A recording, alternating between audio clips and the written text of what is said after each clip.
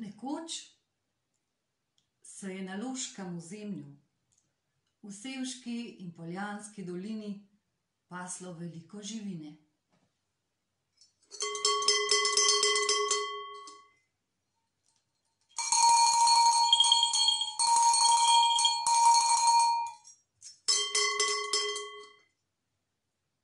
Živela pa sta na loškem ozemlju tudi dva brata, velikana. Prvi je bil doma v Poljanski dolini, na Črnem vrhu. Ta, ta je bil močan kot devetindevetdeset medvedov. Drugi je bil doma v Sevški dolini, na Križni gori. Ta, ta pa je bil močan kot sto medvedov. Nič nista delala, pa sta vseeno dobro živela. Kmetom sta kradla živino, jo pekla na ražnju, dobro jedla in se redila. Potem pa je v Sevški dolini zmanjkalo vse živine.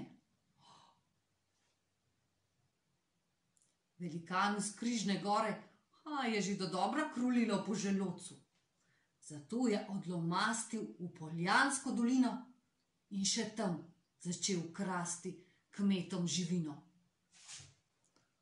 Ponoči je vlamljal v hleve in se dobro mastil.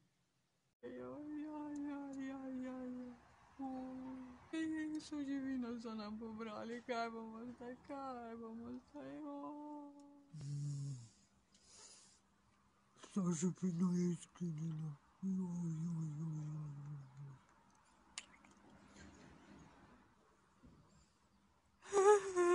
Vsa živina, ni več občka.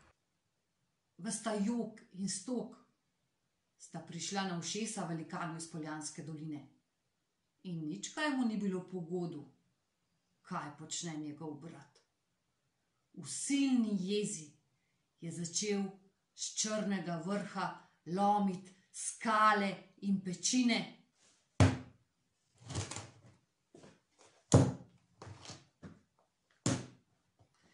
ter jih metati proti Križni gori. Njegovemu bratu to ni bilo nič kaj všeč in tudi on je začel lomiti skale in pečine.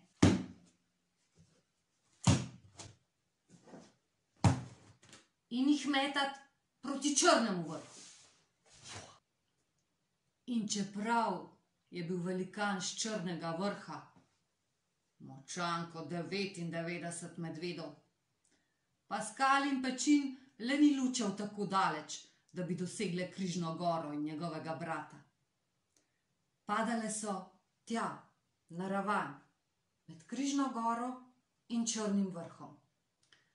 Velikan s Križne gore je bil resda močan kot sto medvedov.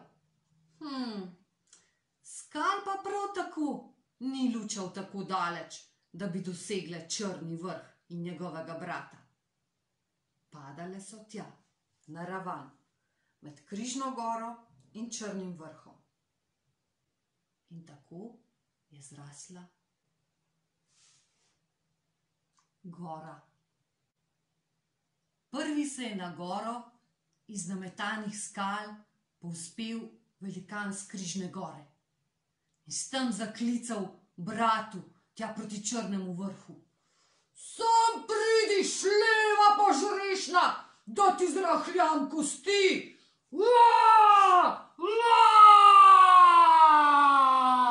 "Ne bojim se niti sedem takih, kot si ti." "Boš že videl, boš že videl."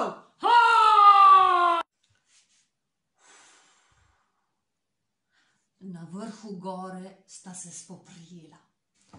Borila sta se sedem dolgih dni in sedem noči. Si lomila kosti? Naposled je velikan z Križne gore, ki je bil močan kot sto medvedov, premagal brata. Ubil ga je, mu odtrgal glavo in jo pustil na vrhu gore. Sam pa je izginil neznano kam.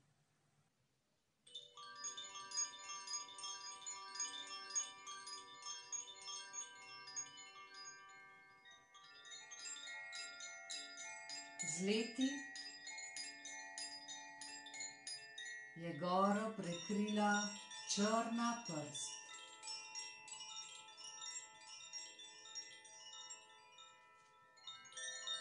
Veter je tja zanesel semena.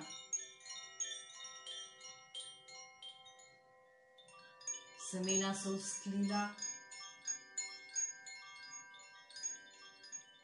pognala so drevesa.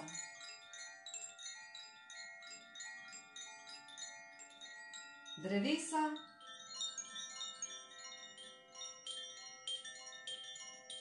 ki so počasi skozi stoletja prekrila vso goro. Zrastel je gost gozd.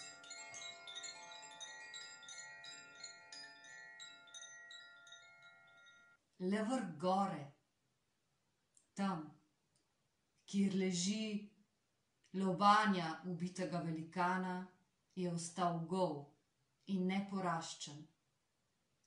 In je tak še dan današnji.